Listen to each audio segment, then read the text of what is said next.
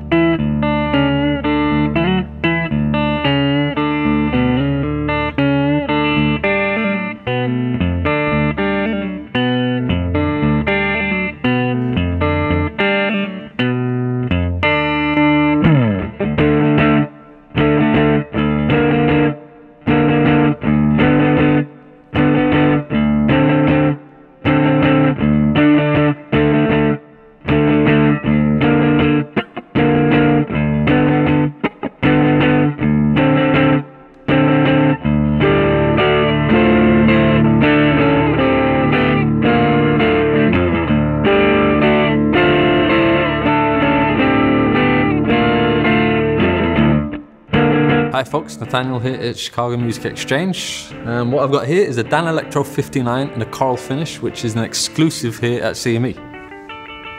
Now, other than a beautiful paint colour, we also asked them to age the parts and the side tape, and they kindly obliged. Right, just an outstanding look and feel to this guitar, and the aging really gives it an added depth, which is something you'll struggle to find on guitars for a similar price.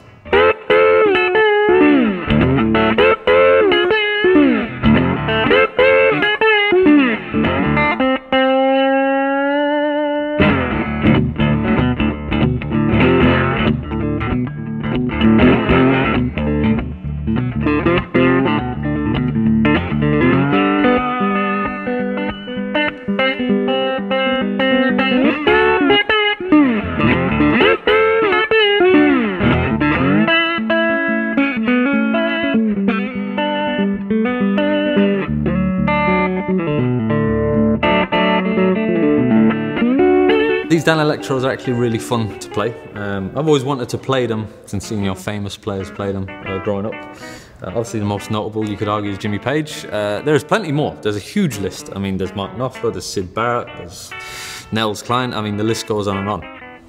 In terms of the, the feel and the play, I love the neck condies. Really kind of thin necks, seem slightly longer to me as well, so, but comfortable to play. You will struggle to get up to the higher frets. I mean, I think that's the case on most Danelectros with this kind of joint here. So you're not going to wander up there too much, um, but really comfortable. I love the pickups. I mean, the classic lipstick uh, pickups, very famous. And I've always loved the dials, kind of dialing them in. Uh, just an iconic guitar that is really cool to play and a lot of fun.